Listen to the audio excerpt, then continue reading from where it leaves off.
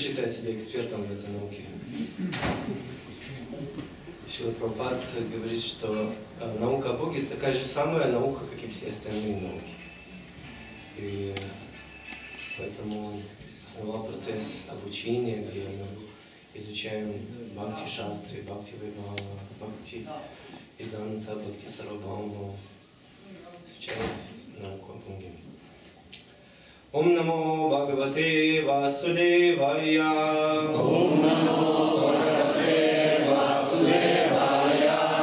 ॐ नमो भगवते वासुदेवाय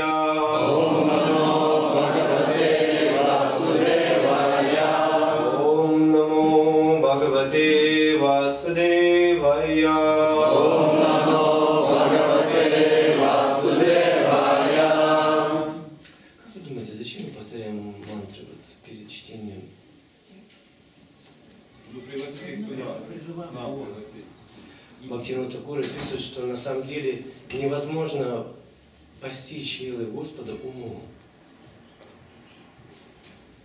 Невозможно. Говорит, лилы Господа постигаются сердцем. То есть, когда сердце открывается. И когда наш ум открывается, он говорит, что можно а, закрепостить в тенеты, или как это, в темницу ума лилы Господа, пытаясь их разобрать и запомнить какие-то вещи. Но в действительности он говорит, что это творческий процесс, и слушать об играх Господа нужно сердцем. Когда мы повторяем мантры, мы выражаем почтение, мы э, занимаем определенное настроение по отношению к этим играм. То есть мы обращаемся к Господу, чтобы Господь открыл нам себя. Итак, стих из Бхагавадгиты. Джанма карма чаме дивям, ивам йовейти татвата, чактвадехам пуна джанма, найти мамейти соджуна. Тот, кто знает божественную природу моего явления и деяний, никогда больше не рождается в материальном мире. Покинув тело, он достигает моей вечной обители Бога Арджуна. Комментарий Чибхакти Веданта Прабхупады. В шестом стихе рассказывалось о том, как Господь не сходит в материальный мир из своей духовной обители. Тот, кто постиг истинную природу, его явление уже освободился из материального плена. Поэтому, покинув свое нынешнее материальное тело, он сразу вернется в Царство Бога.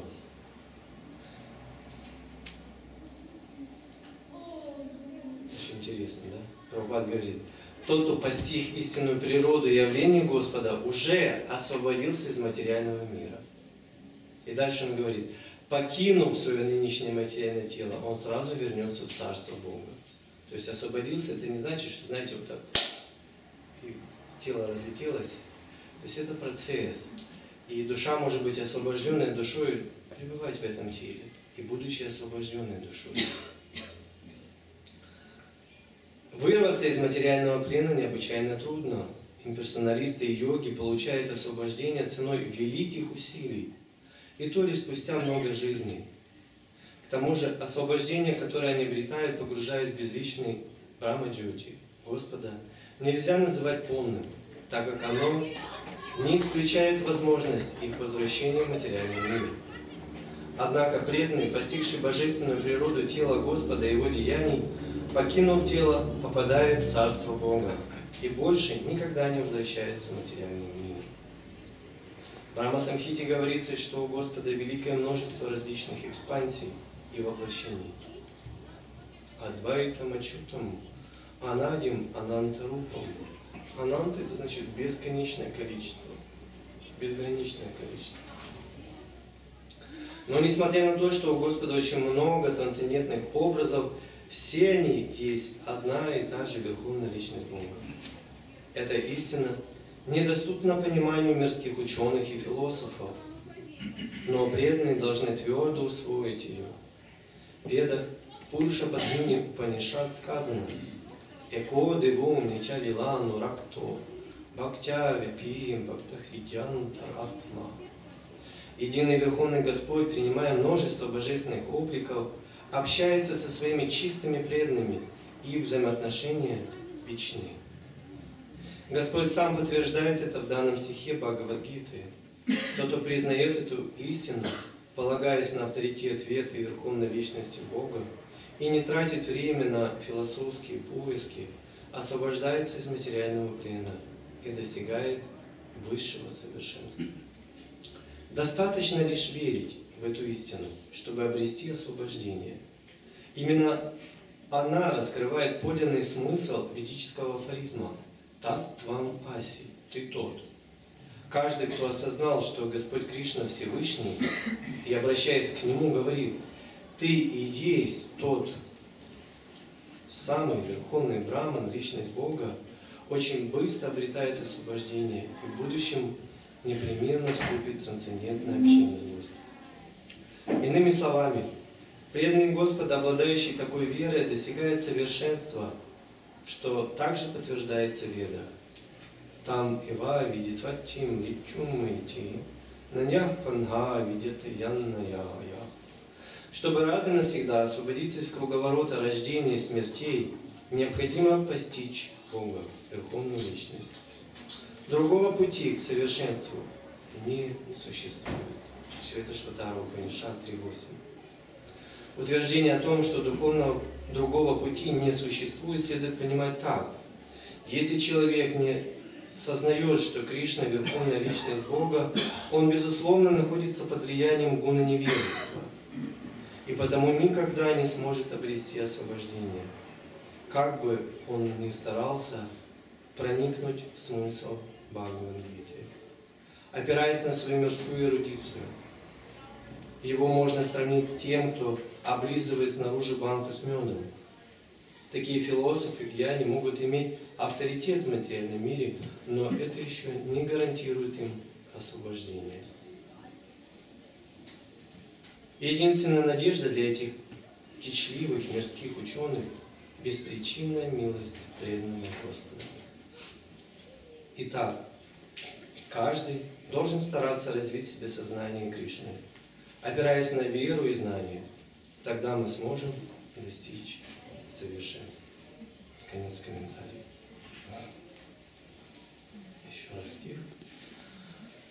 Джанма карма чими дивьям, ивам йовейти татвата, тяктвадехам пура, на джанма найти мамейти соджуна. Тот, кто знает божественную природу моего явления и деяния, никогда больше не рождается в материальном мире. Покинув тело, он достигает моей вечной обители. О Итак, в этом стихе Кришна говорит об освобождении. Om Gyanti Mirangasya Gyananjana Shri Чакшурмиритам Янатасмай Шри Гурве Шри Чайтани Манобиштам Стапитам Йена Бутари Свою Душу Паганаманити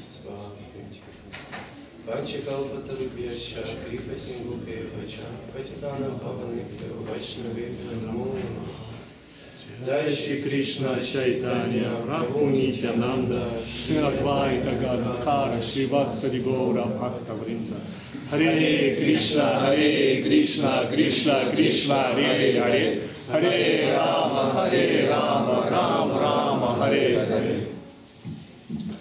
В этом стихе Кришна говорит об освобождении. В одной из лекций Шила Прабхупад поднял тему перенаселения мира – Кому знакома тема, вот так муссируется, что Земля перенаселена?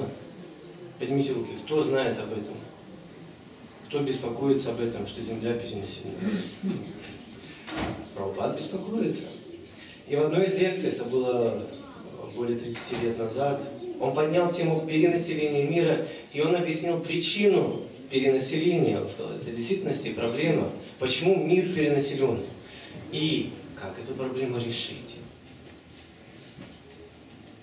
Очень интересно. Вы знаете, почему перенаселен мир?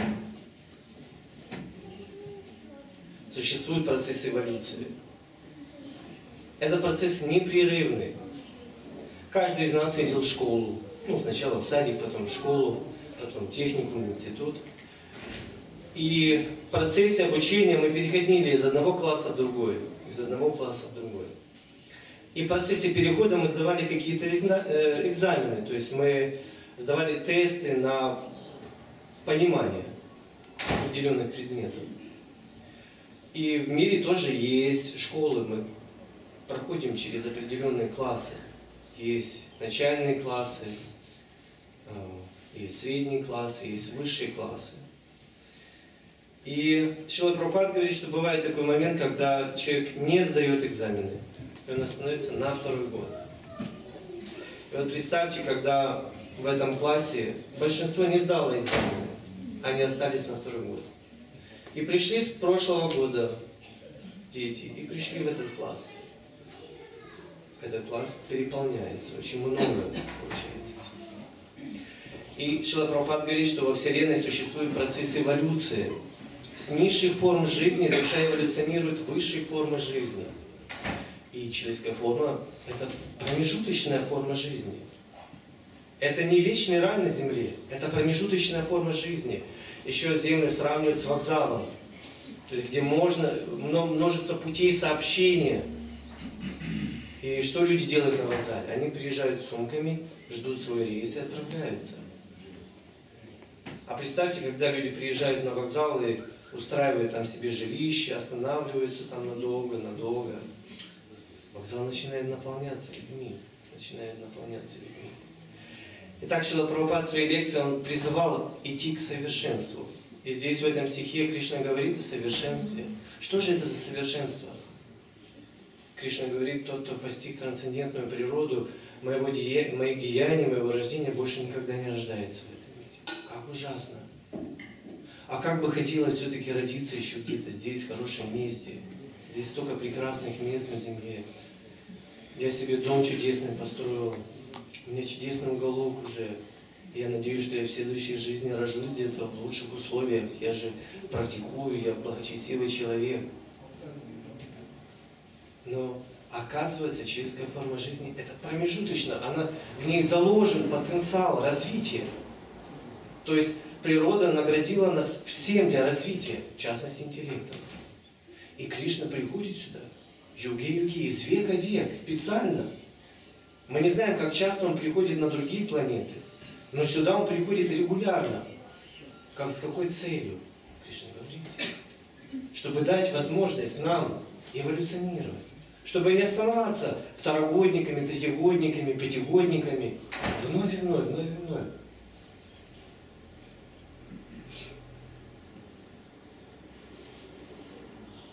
И что же нас держит здесь? В чем особенность лил Кришны? Когда Кришна приходит, когда Господь Рама приходит, Он дает некую альтернативу нам.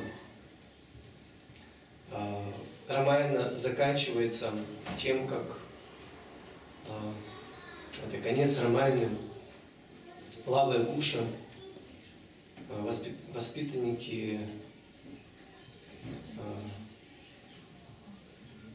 Вальмики. Да. Это первые рассказчики Рамайны. Впервые они рассказали Рамайну в лесу мудрецам. Говорится, послушать прилетели даже полубоги с высших планет. И когда они рассказывали Рамайну, то ветер застывал, переставал тучь.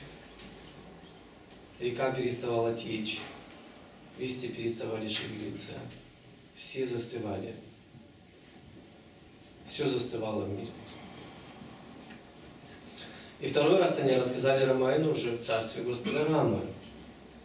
И они не знали, кто такой Рама. Рама не знала, кто они. Но тем не менее они вызвались рассказывать Рамайну, и Господь Рама с радостью слушал Рамайну. В течение долгого срока они слушали, слушали. Все царство собралось, все слушали неотрывно. И когда Господь Рама, когда закончилось это повествование Рамайны, Господь Раму наполненный, он был переполнен. Очень интересно, Шидара с вами в комментарии на Шимат Бхагаватам, он описывает, что такое карма. Вот у нас есть много определений кармы. Это причинно-следственная связь, это путы, да, путы кармической деятельности, это то, что нас держит здесь, в этом мире, то, что обуславливает нас в этом мире. Но очень интересное объяснение Шидара с вами дает. Говорит, карма – это стремление действовать из неполноты. Он говорит, а пурна. Пурна – это значит полный. Когда мы чувствуем неполноту сердца, опорности, и мы из этой неполноты стремимся действовать. Для чего? Чтобы как-то наполнить. Чем наполнить? Богатством, роскошью, признанием, славой. То есть всеми этими вещами мы пытаемся наполнить свое сердце. И в конце концов, что происходит? Мы запутываемся в результате этого. Мы запутываемся. И получаем не только человеческие формы, но и другие животные формы. И Господь переходит, проявляя свои вилы для того, чтобы дать альтернативу, потому что именно слушая игры Господа, мы освобождаемся. Когда Раман, довольный их описанием, он хотел их поблагодарить. Знаете, как он их хотел поблагодарить? Он попросил принести золото, дать им много золота. Кто откажется от золота? Но интересно, как Лава и Гуша. Посмотрите на этого глупца. Он получил освобождение, слушая Романа. Он получил освобождение, он хочет откупиться какими-то жалким золотом. Как деградировала цивилизация. Да, слушая повествование о Господе, мы сами, не замечая того, мы движемся к освобождению. Это то, что происходит помимо нас. Но также все деяния Господа, они несут определенный смысл. И деяния Господа показывают нам альтернативу жизни. Проявление Господа Рамы называют как Марьяда Пурушотам. То есть он приносит настроение праведности, настроение порядка, настроение закона. Когда мы говорим о Господе Раме, мы говорим, что у него была одна жена, одна стрела и одно слово. То есть Господь Рам никогда не нарушал свое слово. Он никогда не бросал взгляд на какую-то из женщин. И если он натягивал тетиву, натягивал стрелу, то он попадал в цель. Говоря о связи Господа Рамы и Сита Деви, когда Хануман а, прибыл на Ланку в поисках Ситы, когда он все-таки ее нашел, он показал ей перстень, по которому она поняла, что представители Рамы, что это все подлинно. В свою очередь, чтобы Хануман мог доказать Господу Раме, что он нашел Ситу, Сита рассказала историю, которую знала только она и Господь Рама. Однажды, когда Рама, он заснул, он заснул на коленях у Ситы. И ее атаковал ворон, обернувшийся вороном, один из полного. И говорится, что он ранил ее. Настолько, что у нее появились капельки крови. И Господь Рам пришел в себя, почувствовал, как капелька упала на него. Он проснулся. И ворон улетел. И когда он понял причину, он призвал оружие. Какое оружие надо, чтобы уничтожить ворону? Рогатка нужна. Просто. Знаете, какое оружие призвал Господь Рама? Бармастру. Бармастру. И эта история показывает, насколько Господь Рама дорожит Ситой. Он готов все сделать. Мы видим вся Рамайна, все похождения Господа. Когда Рама пришел к Сугриве для того, чтобы заключить договор с ним о поиске Ситы, а у Сугривы э, был на это э, шанс. Почему? Потому что когда э, Равана пролетал на своем пушпаке, на своем летательном аппарате, то Сугрива и его военачальника, они видели. И Сита увидела их, и она бросила им свои драгоценности, а, обернутые в шаль. Они знали, когда Рам пришел. И говорится, в течение долгого времени, сезона дождей, Рама сидел в пещере и просто ждал Сугриву. Мы вернемся к этой истории. И что он делал, когда он находился в пещере? Он каждый день пребывал в медитации, он совершал аскезу. С одной целью – найти ситу. И говорится, что он повторял именно ситу. Когда мы говорим о Господе, Господь, э, Господь это Пуруша, это источник, Он наслаждающийся. И в то же время Он дарящий наслаждение. Рама – это тот, кто дарует наслаждение – и что это за наслаждение? Это духовное наслаждение. Это не материальное наслаждение. На самом деле есть два вида наслаждений. Одно называется према, а второе как? Кама. Вот на весах два, две формы наслаждения, и мы не можем их смешать. Существует только выбор. Либо према, либо кама. Другого не дано, третьего нет. Мы не можем смешать прему и каму. Это не смешивается. И Господь Рама, когда мы обращаемся к имени Рама, Рама переводится как дарующий наслаждение. И это духовное наслаждение.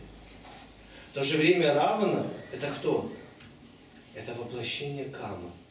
Это воплощение вожделения Кама. И посмотрите, как действует Равана – Ситат в Коране говорит, что вожделение проявляется в трех аспектах. Первое, как ложь. Самая легкая форма вожделения, кама. Кришна описывает Бхагавадгите, он говорит, Махавайрина, говорит, у души только один враг. У вас есть враги? У преданного нет врагов, а души даже. Ну, по крайней мере, о Юдишире так говорили. Преданный не считает, что у него есть враги. Может быть, кто-то враждует. Где-то Бхагавадгиту запрещают. Но тем не менее, у преданного нет врагов.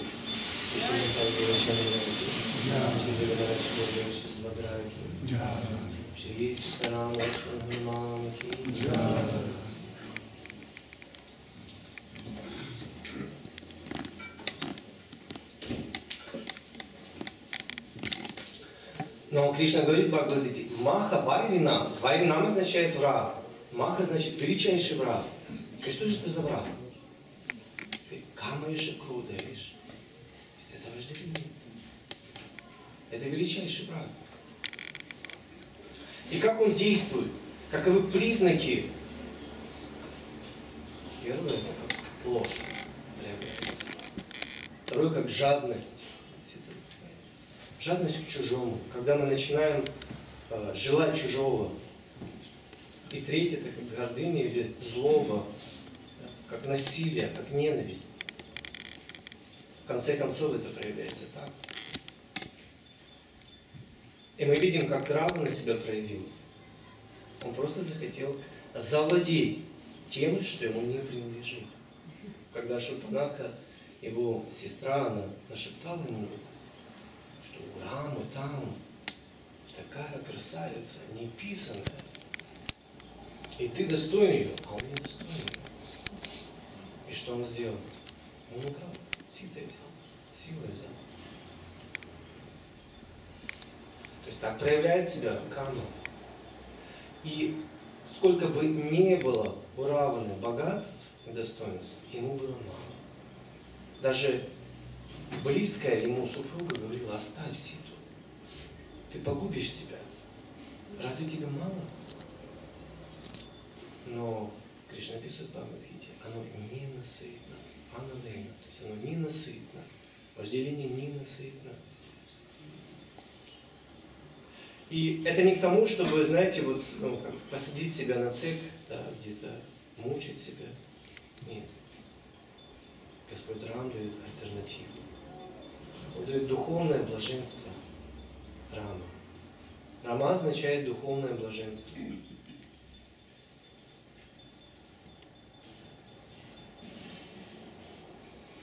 Господь Рама родился у царя Дашарадхи в результате жертвоприношения.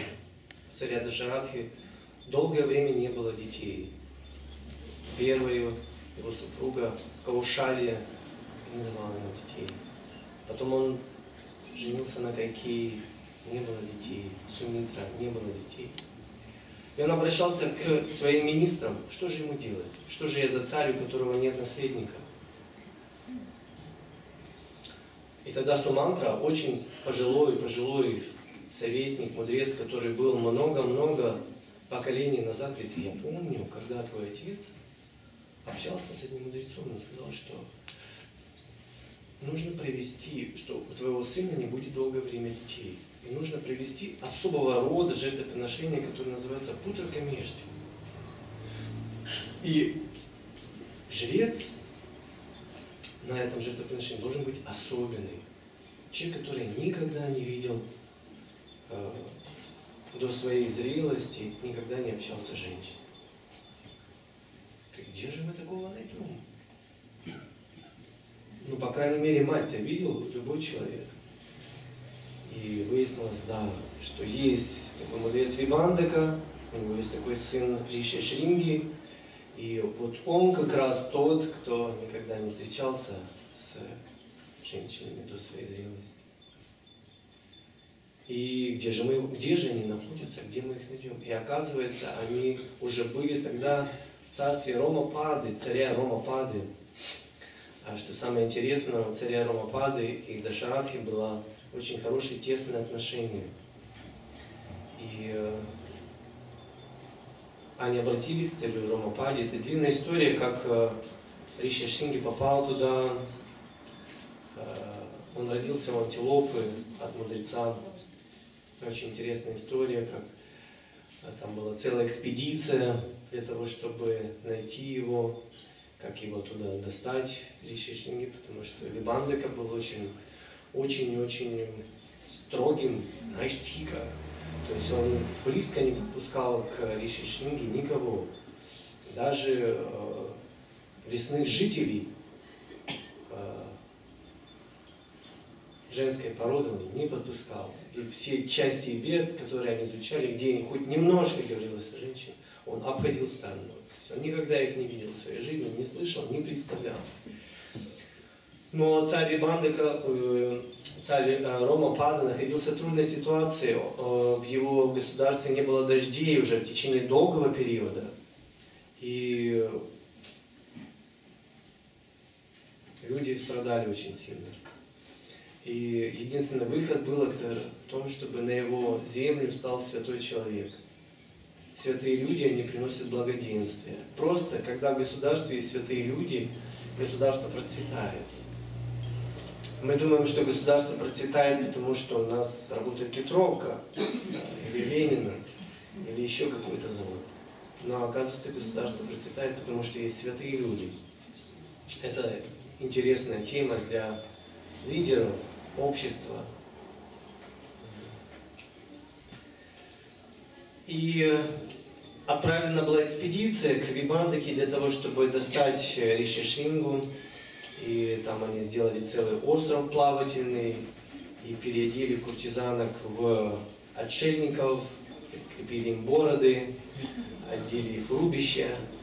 И вот они приплыли туда, они долго следили, это было такое специализированная группа, оснащенная по всем словам техники, подслушивательные устройства, приборы ночного видения. Все это следилось. Как только Вибандека, они, у них был распорядок жизни Вибандека, и когда Вибандека покидал Ашрам, они знали, и вот они знали, у них есть час времени. Вибандека ушел по делам, они знали, все уже было отслежено. У нас есть час времени, чтобы познакомиться с Риши Шрингой.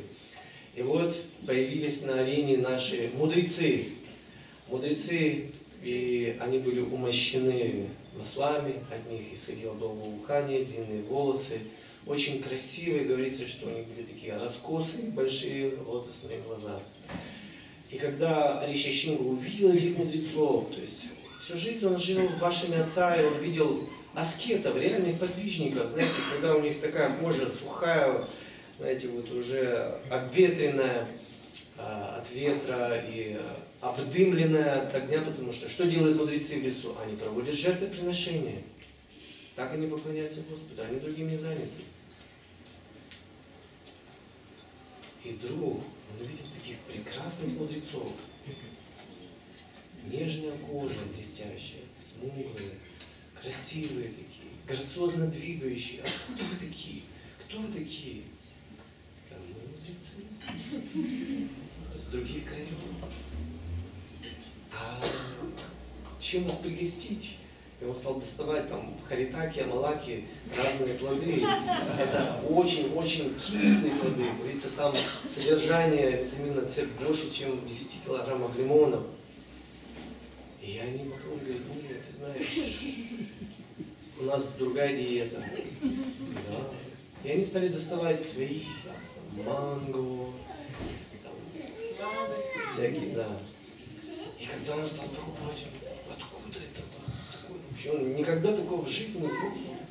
А вот в тех местах, где мы живем, там такие плоды растут. И а, какие же аскезы вы совершаете, какие тапасии.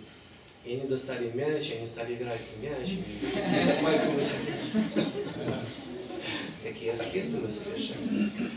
И когда они двигались, они настолько грациозно двигались, что просто он почувствовал какие-то приливы, каких-то энергий. Он не мог понять. Он никогда в жизни с этими симптомами не соприкасался. И он думал, они божественны. Это какие-то признаки экстаза. И им дали знать, что пора уходить, ведь бандека уже идет, поэтому намасте, мы должны уйти, на прощание они обнялись, и это была жирная точка в конце. Все, я хочу быть с этими мудрецами. Мудрецы ушли, и Бандак и пришел. Он видит, что это огонь тухнет. И он смотрит, что это Риши Шини какой-то сам не свой, какой-то рассеянный, где-то в облаках летает. Нет сосредоточенности, говорит, сын мой, что случилось?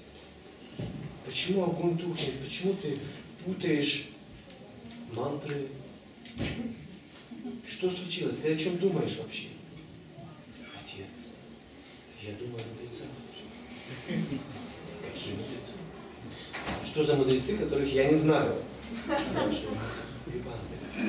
Отец, это божественные мудрецы. Это, мы таких не видели, у нас здесь таких не живут, они с других краев. Ну, ну, Ну, они вот такие так выглядят. Вот, у них такие ноги стройные, такие бедра, вот бюсты такие, и глаза такие красивые. Сын мой, это были ракшасы. Больше никогда с ними не общайся. Это были ракшасы, сразу гони их от себя. Жусина не состыковка. Ну я же знаю, кто такие ракшасы. Это злые, с клыками, они поедают людей. Но он отцу ничего не сказал, но внутри у него было много сомнений. Когда родители говорят что-то детям, они не верят. Я же лучше знаю, я чувствую. Особенно период взросления это начинает происходить. Дети начинают свой опыт получать жизненный. Я же чувствую это, правда. И он не мог заснуть, понимаете, он всю ночь ворочался, думал, ну как же так, ну, не может быть, что это ракшасы. Я верю отцу, но в то же время не может этого быть. И в конце концов, когда там проснулся, все равно думал о них. И отец пошел на поиски этих мудрецов. И группа дозора доложила, и он пошел в другую сторону. И э, наши мудрецы поняли, надо, да, надо доводить дело до финиша. И вот они прибыли опять. И Риша Шинги так был рад их видеть. Говорит, слушайте, он был настолько искренний, чист. Говорит, слушайте, мой отец говорит, что вы ракшасы. Это правда? Да нет, что? Мы мудрецы, просто отец не знаком с нами, это новая форма такая. А как мне быть? Я не знаю. Вот, мне так хочется с вами. Я хочу посмотреть, как вы практикуете, как вы достигли вот э, такого совершенства. Сколько тебе лет? Говорит, ну, мне уже много тысяч лет. Я... Слушайте, как это вам удается? Мы сегодня отправляемся в наши земли и можем взять тебя с собой. Если ты хочешь, мы тебя всему обучим, всему научим. Ты все владеешь, всем искусством. И Ришиши согласился. Его погрузили на остров плавательный. Там на первом этаже сидели гребцы. И остров отплыл, поплыл к землям а, Ромапады. И как только, как только он стал на землю Ромапады, тут же он увидел, как над его государством стали стягиваться тучи, и он понял, что Риши Шинги прибыл, и что он сделал? Он тут же, через несколько дней, сыграл свадьбу. Почему? Потому что он знал, что Вибандака придет. А это очень-очень могущественный мудрец. И он предупредил всех жителей. Когда увидите такого черного, с красными волосами, с гневным взглядом, и он спросит, «А чьи это земли, скажите, что это земли Вибандаки и Риши Шинги, что все это ему принадлежит. Риши Шинги владелец. Ну, соответственно, он папа владельца. И вот Вибандака пришел, он шел, шел, он хотел понять, правильно ли он идет, он спросил, чьи это земли. И люди поняли, это земли Риши Шинги. Как Риши Шинги? Откуда? А он наш правитель и в банке был в гневе, но ему ничего не оставалось, потому что уже все было сделано, как благословить сына, хороший брак. И когда он пришел, а уже, уже он стал дедушкой, как-то так все быстро произошло. И ему сказали, что он уже в планах дедушка, то есть не завтра, но в планах. Хорошо, через год вы должны вернуться к аскезе. И вот у Ришишинги был один год. И до этого года оставалось месяц. И как раз в это время Дашарат, да, царь Дашарат, обратился к нему, и они быстренько его принесли, и провели это жертвоприношение Путракамештхи. Вот. И когда э, Ришишинги произнес последние мантры, он возил последние ги, вот. И когда появился э, Яги Пуруша, божество из этого огня огромное, на небе, э, в руках у него был пая, э, паяж, да, вот, божественный рис, и когда его разделили между женами э, Дашарадхи, э, получается, часть была у Каушали, часть у Кайтеи Сумитры. И э, через некоторое время они все забеременели, у них были дети. У Каушали родился Господь Рама, у Кайки родился Барата, у Сумитры, Лакшмана Шатругна. Там Господь Рам явился в этом мире. его божественное чистое рождение. И в дальнейшем, когда он подрос, Вишвамитра попросил Господа Рама для того, чтобы его обучить. Он пришел к а, Дашарадхи. И а, Дашарадхи, естественно, когда Вишвамитра шел, все знали, насколько его гнев опасен. И Дашарадха, встречая Вишвамитру, он вышел все, что попросишь, все твое, все царство твое, все принадлежит тебе. Так цари относились к мудрецам. Мне твое царство? Ты уже царь, прав, мне просто раму дай. Как? Все бери, только не раму. А мне все не нужно, а мне только раму. Ты пообещал, давай. То есть на самом деле настолько жители Айодии любили Господа Раму, что мгновение разлуки для них было невыносимо. И это была первая разлука с Господом Рамой. Дашарат души не чаял в Господе Раме. Но тем не менее он вынужден был его отпустить, и это время было очень благоприятно для Рамы, потому что Вишвамитра обучил его всем-всем-всем наукам. Да? Хотя Господь является исполненным знанием, Он сам источник знания. Тем не менее, подавая пример нам, Он принимает учителя, наставника. И однажды Вишвамитра привел Господа Раму в Витхилу, Махараджи Джанаки. Махараджи Джанаки была удивительная дочь, неописуемой красоты. Сотни и сотни царевичей, могучих царевичей приходили свататься к ней. Но у всех был отказ. Что это за царевна? Кто это? Это Сита Такура. И Махарадж Джанака знал, что Сита необычная душа.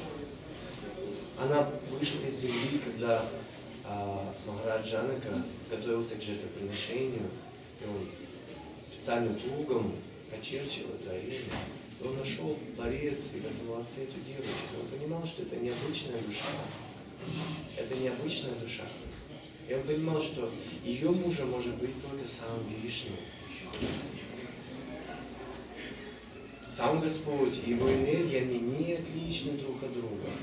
То есть, когда мы говорим о Боге, мы не говорим о Боге в единственном лице, просто как, как один персонаж. Мы говорим о Боге в окружении Его энергии. Господь никогда не бывает один. Он всегда окружен своими многочисленными энергиями. Вот Сита Такурани – это проявление Его личной энергии.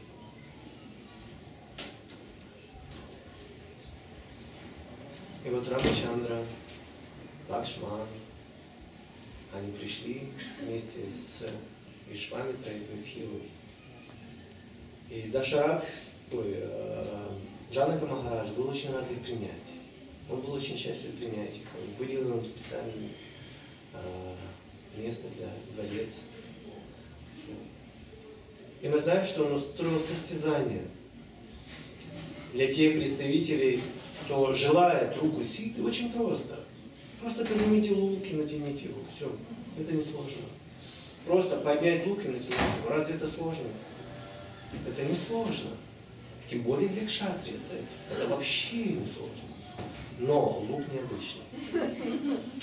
Лук Господа Шивы. Махешчара. В свое время, множество тысяч лет назад, когда была битва между Вишну и Шивой, это было состязание, которое Лакшми хотела увидеть красоту и могущество Господа, то Вишвакарма создал два лука. Это два лука во Вселенной, которые использовали Вишну и Шиву. И вот по наследству Рамапади, Даша, э, Джанаки Махараджу достался этот лук. Когда однажды Сита хотела достать, вот сейчас расцветают цветы, и абрикосы зацвели уже. Кто-то видел? Очень красиво. Вот выйдите, вы сейчас увидите. И появились первые цветы весной. И Сита так хотела достать один цветочек, он был высоко. И она не могла достать. И она не придумала ничего лучшего, как что? Пойти просто взять этот лук и достать. И когда советник царя увидел это, он упал в обморок. Он пришел к царю. Джан Махарадж, сейчас что-то не понимаю. Что случилось? Что? Рассказывай. Этот лук несут 300 человек с трудом. Они не могут его поднять. Я увидел, как Сита достает цветочек. Это правда? Да. И это было полным подтверждением для Махараджа Джанаки. Он понял, что Сита это необычная душа. Поэтому а, для того, кто хочет руку из, из сердца Ситы, он должен поднять лук и натянуть. Это же очевидно. Да. Но никто из претендентов не мог это сделать. Тужились, тужились, тужились, тужились. Вот уже все, вот вены напухают, глаза выходят из орбит, а поднять не могут. Даже Равана попытался, представляете? Даже Равана. Очень могущественный, но и он не смог. И когда э, Господь Рам появился в Медхире, все были счастливы увидеть этого царевича. Он настолько был удивителен и прекрасен, что просто видя его, все приходили в восторг. Мы говорим Рама, дарующий блаженство. И вот Рама и Лакшман отправились по городу. Все прохожие, когда они проходили, они оборачивались на них и шептались, кто это, новые царевичи к нам пришли. Новые царевичи. С балконов выглядывали женщины, смотрели. И они зашли, это первая встреча. Кто знает, как это произошло, первая встреча с Рамой и Ситой? Да. Это была первая встреча их. Господь Рам и Лакшман, они зашли в удивительный стад в центре города. Они зашли с какой целью? Собрать цветы для своего гуру. Вишвамитра поклонялся, они пошли собрать цветы для своего гуру. Они служили, они были учениками примерными учениками. Они служили своим учителю. И в это же время Сита пришла в этот сад. В центре этого сада находился храм Парвати. И она пришла молиться о достойном супруге. Чтобы Парвати была благосклонна к ней, чтобы ее сужен был достойной личности. И вот когда она пришла с молитвами туда, ее наперстница сказала, Сита, смотри, смотри. Там такие юноши удивительные. Кого не хочу смотреть. Кого мне Господь пошлет, кому Боги пошлют. Это выяснится завтра на, на арене. Ты такого не видела. Это просто сногсшибательно. Это, это само воплощение Господа. Я такой красоты в жизни не видела. Ты ты отказываешься, не знаешь от чего. Просто выйди, посмотри. Это тебе ничего не стоит. Просто выйди, глянь, и все. И Сита вышла. И когда она вышла, ее взгляд упал на раму. И в это время Рам повернулся лицом к Сите. И они увидели друга. И говорится, божество, которое управляет веками, которое заставляет моргать веки, покинула их веки. В течение какого-то времени они стояли застыв, смотря. Сита узнала Раму, Рама узнала Ситу. Говорится, Сита это продолжение, как, как лучи солнца. Существует солнце и есть лучи. И лучи всегда сопровождают солнце. И вот лучи встретились с солнцем. Сита не могла оторвать глаз. Ее глаза округлялись, Рам остолбенел, не мог оторвать свой взгляд. И на следующий день, когда Рамачандра появился там, Сита глубоко в душе молилась. О чем? Чтобы Рам поднял. Она очень этого хотела. Рамачандра, когда он вышел на помост, он в первую очередь подошел к своему Гурудеву, к Вишвамите. Он поклонился к нему ноги и попросил благословения, чтобы сделать это. Потом он отправился к царю, поклонился ему, попросил благословения. Джанат Махарадж с радостью благословил. И Сита Тугарани, видя такое смирение, такое выражение, никогда в своей жизни не видела таких царевичей.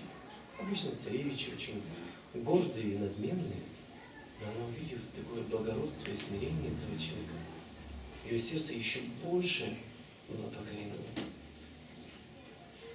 И она наблюдала за каждым его движением, когда он подошел к луку, когда он взялся за лук. И Сита Такурани ждет, чтобы он ее поднял. Но идет секунда, идет вторая, третья, ничего не происходит. Это мгновение, которое кажется для нее вечностью. В ее уме начинают проходить мысли. Неужели он не может понять? Неужели он не может? Господь, пожалуйста, пожалуйста, пожалуйста. И вдруг в какой-то момент этот лук вздымается над всеми.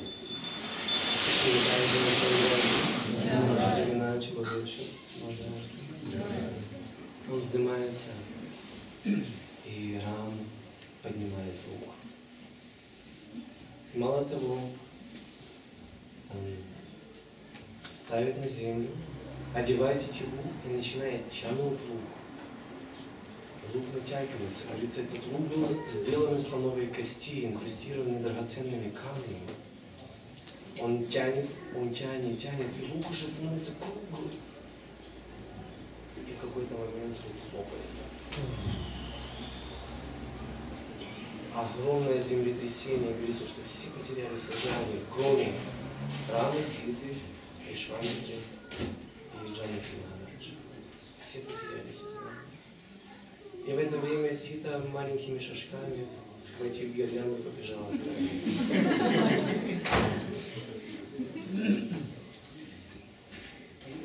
И приблизившись очень скромно, глядя Ситарам Ки Джай. И Мы знаем в дальнейшем, это удивительная история дальше. Ситарам э, возвращаются в Айодью, возвращаются к Дашарадхе. И э, все хотели короновать Раму на престол. И мы знаем, как э, Кайкея, получившая два, э, два благословения от э, Даша Радхи, в свое время она спасла его, и он сказал, я даю тебе два желания на исполнение. Я сказал, мне тебе ничего не надо. Не сейчас. Когда? Когда тебе понадобится, я исполню любых твоих два желания. И мы знаем, что Мандара – это служанка. Когда все узнали о том, что э, Раму собираются короновать, она стала шептать коньки на уши, постоянно шептать. Если Рам станет царем, твой сын не станет царем Барата, какие это мать Бараты, ты будешь второй царицей, ты будешь не нужна. А, Раме займет престол, ты будешь служанкой в этом обществе. И вот эта постоянная критика, постоянная критика. Но Кайкея, она любила Раму. Изначально она любила Раму как мать.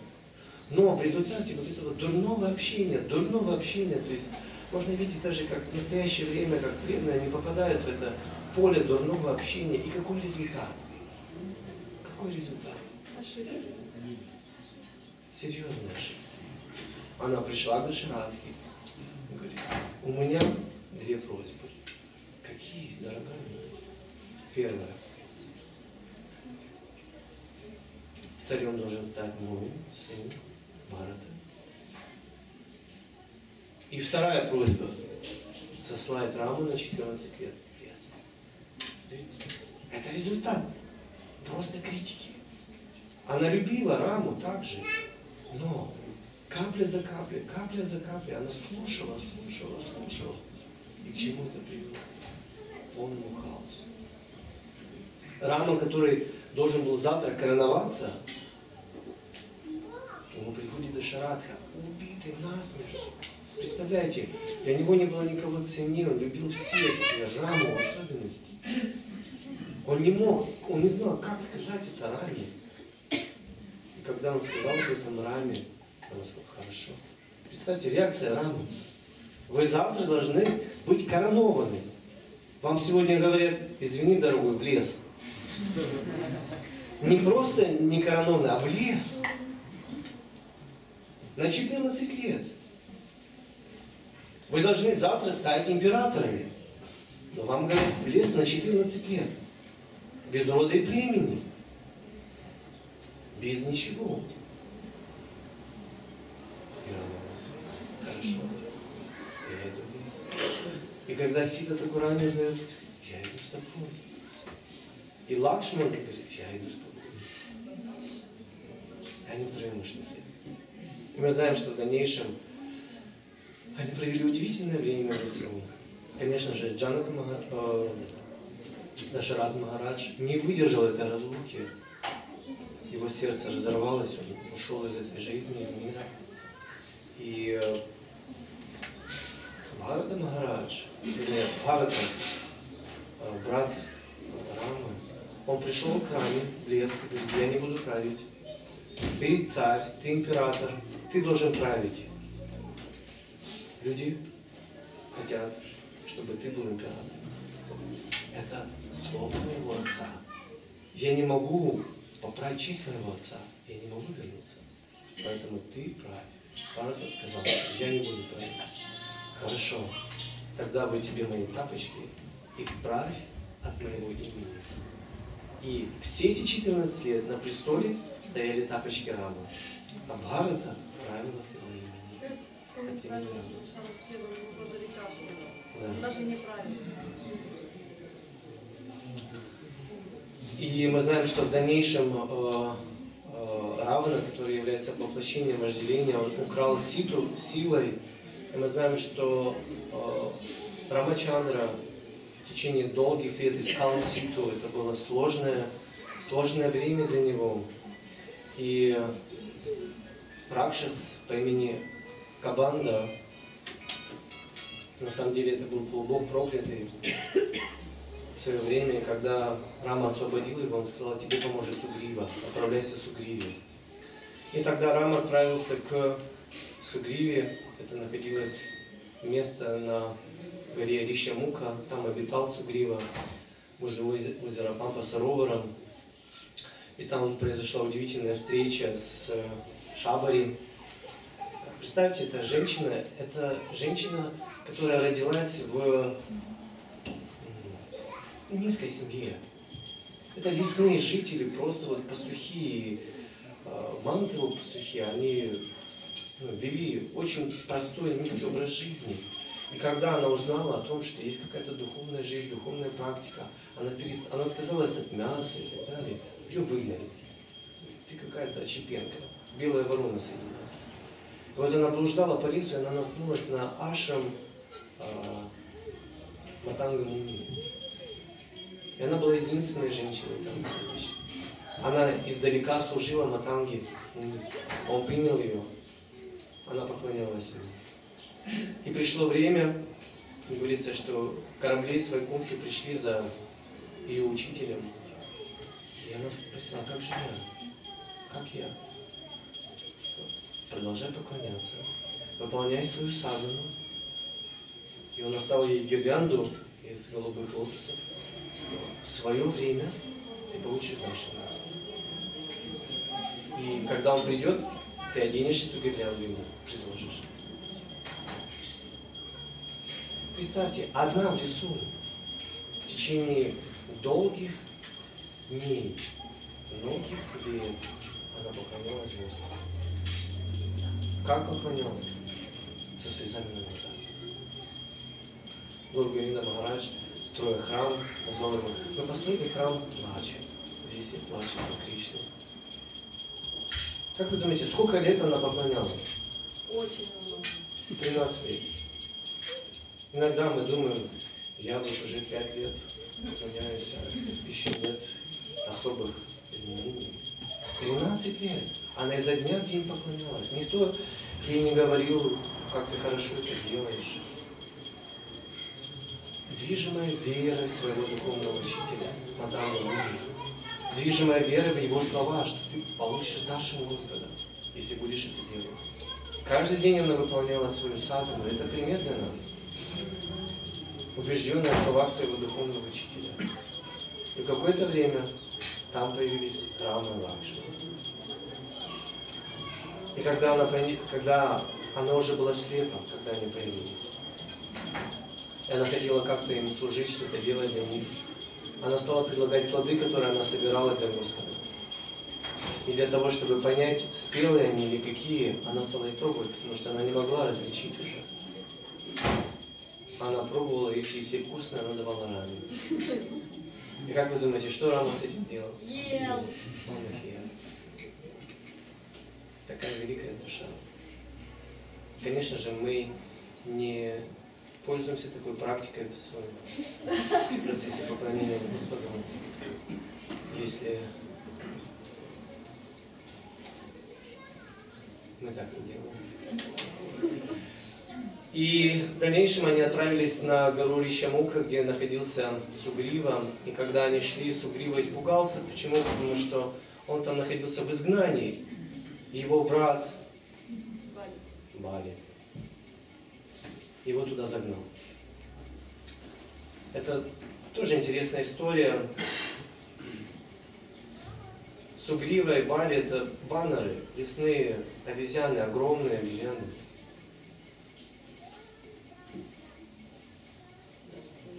И Бали был проклят, он не мог стать на эту гору Ищамук. Это единственное место, где он не мог стать, поэтому Сугрива там спрятался. И когда Рама и Лакшман, они на конях ехали, Сугрива увидел их, он испугался. Это лазутчики Бали. Он испугался. И он послал Ханумана выяснить, кто это. И это вторая удивительная встреча. Хануман, который всю жизнь искал своего хозяина, у него было ожерелье, незримое ожерелье, бриллиантовое ожерелье, которое по преданию мог увидеть только хозяин. И он сел на дороге, просил подаяния. И когда Рама и Лакшман проезжал, он сказал, добрые путники, подайте. И Рама посмотрел на него. Ты что, бедный, нищий? Да, да. Но у тебя же бриллиантовое ожерелье.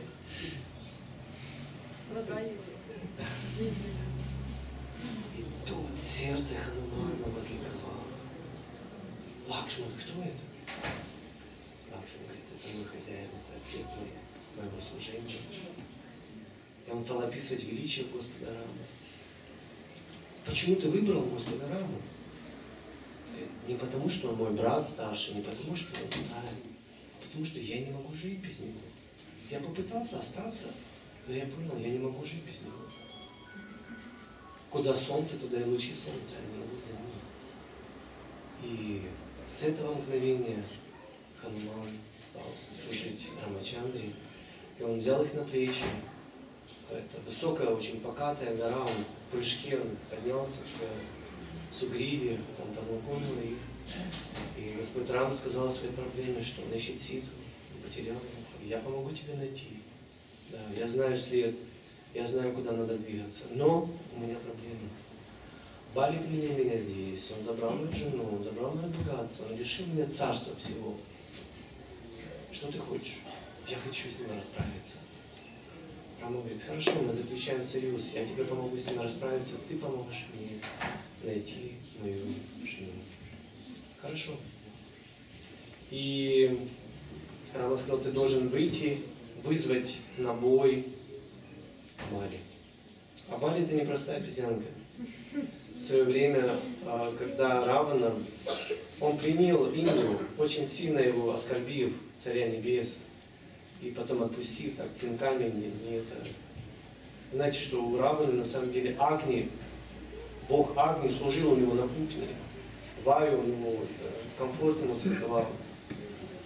Варуна ему воду носил. То есть полубоги служили ему. И что-то Индра там ему не понравилось, он его подотыльником. Но... И э, Нарада тогда посоветовал Индре обратиться к своему сыну, Бали, его сыну, чтобы он помог ему. И у Бали была такая практика, он каждый день облетал океаны и совершал там медитацию. И он оскорбил Равану, и Нарада нашептал Равану, вот когда в медитации, подойди, схвати его за хвост и оскорби его, он тебе ничего не сделает. А Бали это означает хвост. Вся сила находилась там.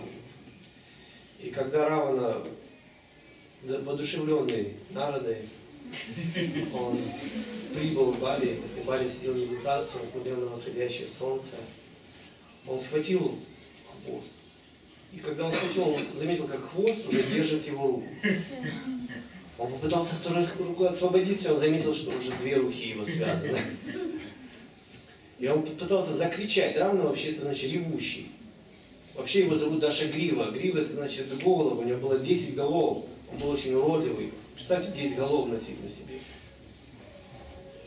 И он попытался закричать, и этот хлоп как хляпа ему в рот залез.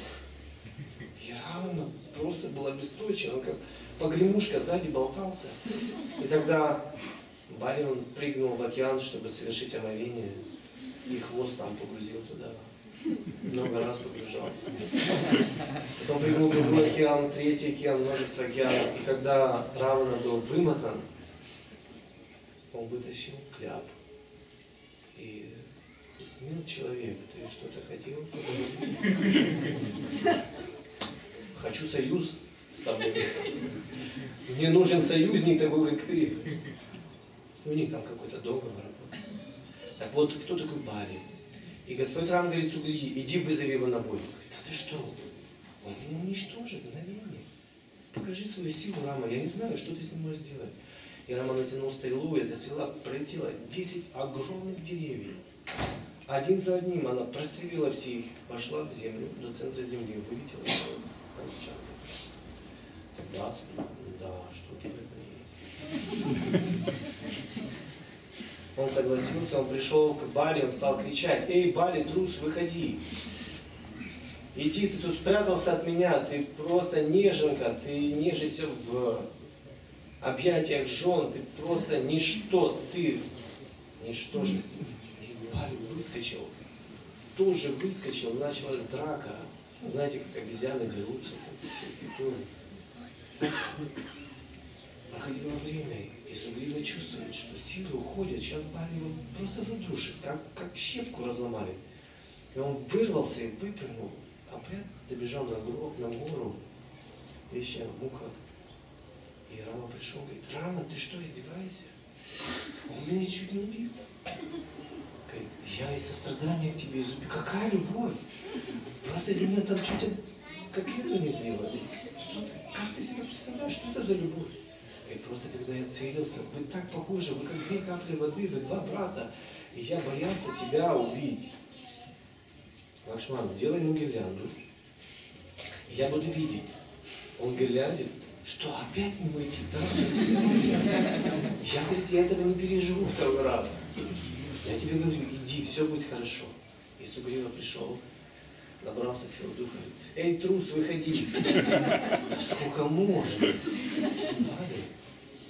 Тут жена барина говорит, Тара из не ходи. Почему не ходи? Это дурной знак. Ты только что его унизил, ты его наказал, но он пришел, вернулся. Что-то не так здесь, понимаешь? Он бы не вернулся просто так. Я слышала, что два великих воина пришли сюда. Не ходи, я тебя прошу. Но гнев Бали, его сила, его энергия, его э, гордыня, она не позволила ему, потому что Сугрива говорил колкие слова. Трус, ничтожество, просто ты мелкая сошка. Я тебя разотру порошок. И Сугрива, вернее, Бали выпрыгнул и опять захватилась битва, и в это мгновение стрела пронзает Бали. И он падает. И когда Рама приблизился, Бали сказал, Рама, почему ты так нечестно меня Ты мог просто вызвать меня на бой. Мы могли с тобой ну, по-честному. о какой чести ты говоришь ему? О какой чести? Ну ты же кшатри, говорит Бали. Да. Так шатри не делают. Честные люди так не поступают. Во-первых, как ты говоришь о чести? Ты унизил царя Сугрива. Ты отобрал все у него. Разве это честно? Ты забрал его жену. Разве это честно? И вообще, ты обезьяна. А к обезьянам такие правила не... Ты приравнивайся к животным. Такие правила не приравниваются. Животное можно убить там спереди, сзади, там, днем, ночью, когда хочешь. И в это время, когда гордыня Бали была растерта, он понял, что перед ним стоит Господь. И он принял смиренное настроение. И созерцая Господа Раму, он закрыл глаза и вернулся в духовном видении. И все, что мы говорим, все, что мы передаем, мы это получили от Шивы Прабхупады. Шива Прабхупад нас познакомил с Господом Рамой, он познакомил нас с Кришной, он познакомил нас с Гаурангом Махапрабху. Только благодаря ему, Прабхупад заканчивает комментарии к этому стиху Бхагавадгиты, он говорит, что только благодаря общению с чистым преданным, слушая его, мы можем изменить свое сердце, мы можем получить освобождение, мы можем получить миссию в своей жизни. Очень интересный эпизод из жизни Прабхупады. 22 февраля 1977 года. Вся Калькута собралась в аэропорту, мэр города, представитель, компании Air India. Вся полиция собралась. Знаете почему? Боинг 747 впервые прилетает в Калькутту, аэробус. Что за, что за шум вообще? Что за шум? Это первый прилет аэробуса в Калькутту. Как вы думаете, кто был на борту?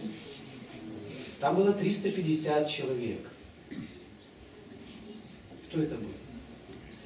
Все 350 человек это были ученики Прабхупады Кришна. Этот самолет летел из Нью-Йорка в Лос-Анджелес, летел в Лондон и собирал преданных. Это была крупная первая в Майапуре. Все чиновники собрались приветствовать Вайшнава. И когда преданные вышли, они давали интервью, там было много корреспондентов. Они сказали, теперь милость Гауранги Мапрабху и Шилы Прабхупады с Запада пришла. И 30 автобусов один за одним поехали в Майкур. В то время более 500 преданных собралось в этом месте. И в первый день открытия они пригласили крупных чиновников. Они перерезали ленту. Открывались новые здания, и когда они шли, там сделали преданные э, галерею, выставку, фотовыставку достижений искона.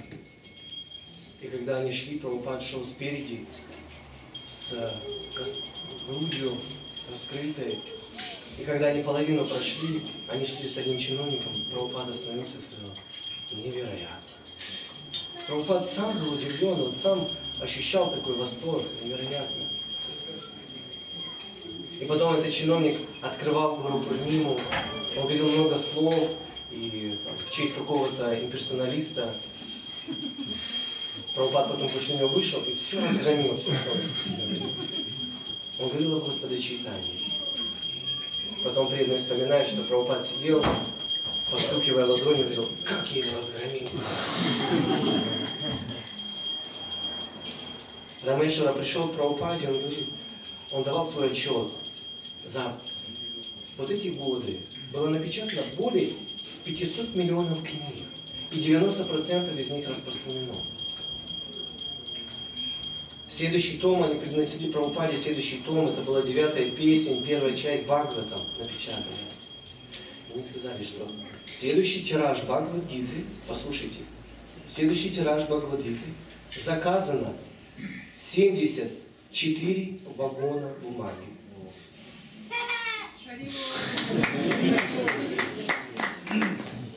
Прабхупад благодарил преданных. Спасибо за такую работу. Спасибо за такое служение. Это милость моего Гуру Махараджа. И через некоторое время преданные улетели во Вриндаван продолжать праздновать, Прабхупад остался в Майяпуре. В это время его здоровье было очень плохо уже, плохое здоровье. И собралась GBC на собрание, и они обсуждали правила, принципы, конституции и так далее. И они предложили одно правило. Шила Прабхупад, мы не против, если мы устроим круглосуточный киртан в наших центрах сознания Кришны. Прабхупад сказал, да, Святое имя это лучшее лекарство от всех болезней.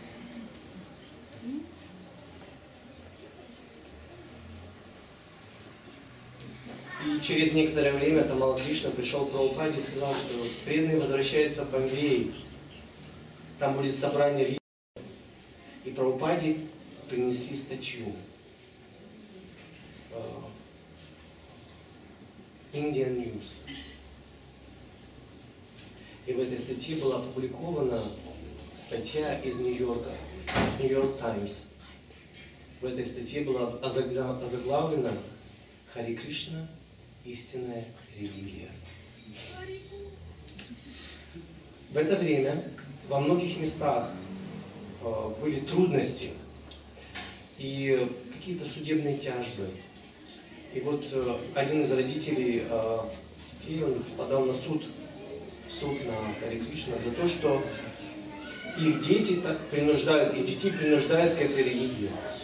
И было долгое судебное расследование, в результате которого судья, верховный судья в Вашингтоне заключил, что Хари Кришна это истинная религия, что это многовековая традиция, которая следует в Индии, и что наше государство свободное, и что каждый вправе вы- выбирать ту религию, которая ближе ему по сердцу. Даже если она не общепризнана, и даже если общественность не признает, есть право выбора на религию. Прабхупад был счастлив. Сказал, это победа. 12 лет назад я приехал в Америку. Я ничего не знал, меня никто не знал. Я, я скитался в буквальном смысле слова. И когда Тамал Кришна Махарадж предложил ему поехать в Бомбей, Прабхупад был так окрылен, сказал, да, я поеду в Бомбей. Прабхупад спросил, э, Тамал Кришна спросил, насколько вы там хотите остановиться? Сказал, остановиться? Останавливаться в дворцах, в роскошных местах. Я еду туда работать. Работа это моя жизнь, это суть моей жизни. Это Тамал Кришна говорит, да, сколько вы планируете там поработать? Чем больше, тем лучше. У нас безмерное количество работы. Кришна открывает перед нами возможности. И он еще раз сказал, Искон – это истинная религия. Хари Кришна – это истинная религия. Поэтому мы должны принять эту возможность и служить Кришне.